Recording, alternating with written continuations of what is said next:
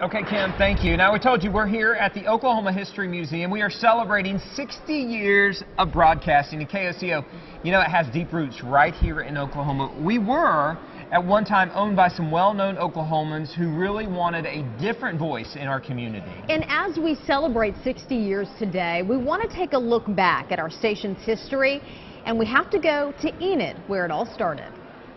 This is the building where KOCO first went on the air in July of 1954. At the time, we were known as KGEO for Greater Enid, Oklahoma.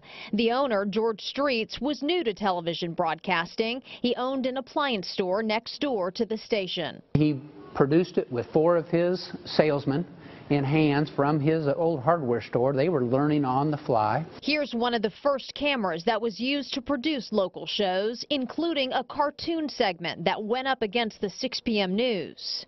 And it killed the ratings for the other two uh, stations' uh, newscast. It was exciting and, you know, I was young and impressive.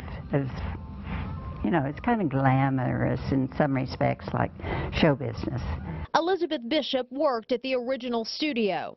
To me, it was fun because we were very small and you had to really do a lot of things. Elizabeth kept program logs up to date and occasionally appeared on TV as a model. She moved with the station to Oklahoma City in 1958.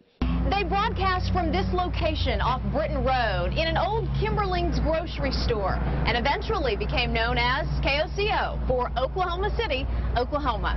The station sold twice, ending up under the ownership of prominent Oklahomans, including John Kirkpatrick, Dean McGee, and Robert S. Kerr. KOCO was a leader in diversity, in getting people on to talk about African American issues, Indian issues of things affecting the community out of the mainstream. The group helped set the stage for what KOCO is today. A lot of the civic involvement you still see at KOCO today dates back to those early days.